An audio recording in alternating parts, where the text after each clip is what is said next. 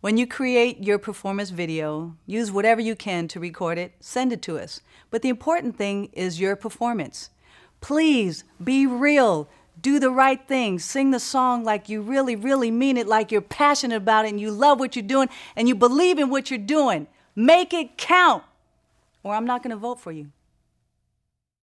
When you record your performance video, make sure we can hear your voice, that there's no distracting sounds like air conditioning or vacuum cleaners. Um, sing directly to the camera, look at us. We want to hear your story through the music, through the song. Uh, also, practice never hurt anyone. Uh, I can't wait to see and hear you, and uh, good luck. To create a great performance video, my advice would be attention to detail. Make sure you work out what you want to portray in your clothes, that you set the lighting right, that if you want to put a little bouquet of flowers in the background, go for it. Set whatever mood makes you feel like you're representing you the best, and then shine like the star that you should be.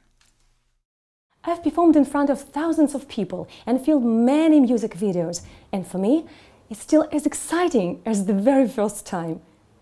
That's because I let myself have fun. Feeling nervous is natural, but you can channel all that nervous energy into something positive. So, before you record your video, visualize yourself giving a fantastic performance. Take a deep breath, project your inner confidence, and enjoy the moment.